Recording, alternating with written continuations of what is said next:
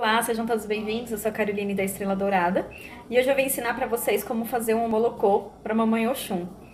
É, o molocô é uma oferenda que nós servimos à Mãe Oxum em forma de agradecimento ou de pedidos. Normalmente é utilizado também em alguns rituais de iniciação do médio dentro do terreiro.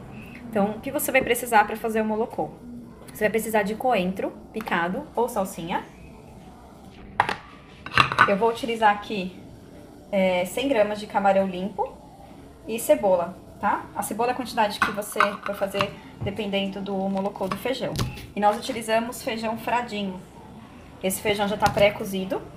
E além disso, nós também vamos utilizar azeite de dendê para poder fazer essa mistura. E cinco passa você vai esquentar no fogo o azeite de dendê, tá?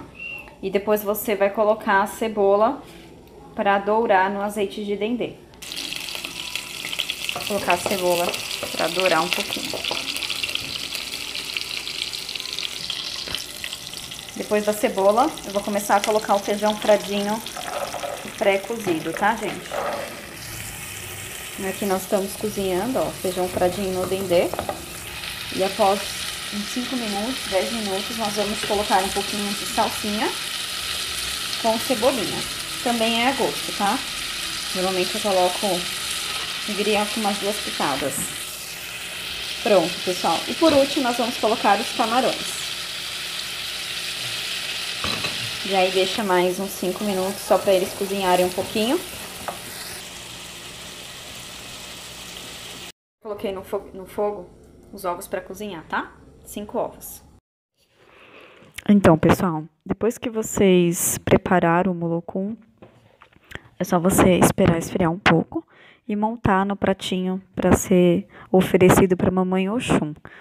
Você coloca o feijão fradinho preparado e por cima você coloca os cinco ovos, tá? Normalmente em todo ritual nós temos o hábito de colocar o nome escrito com a data de nascimento, nome completo, com a data de nascimento em um papel embaixo da oferenda. Então eu sempre coloco o prato, o nome da pessoa e por cima do nome a oferenda que vai ser realizada.